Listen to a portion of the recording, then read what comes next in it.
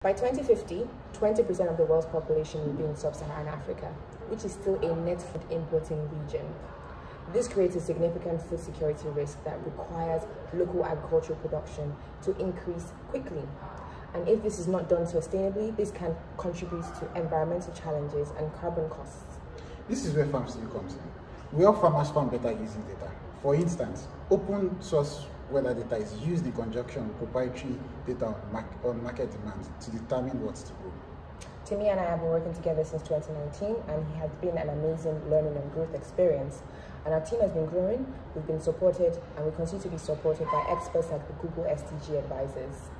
We are confident of the, of the scalability of our solution, which was recognized as a promising practice by FAO of the UN. So if you want to join us on our journey, do reach out. Thank, Thank you. you.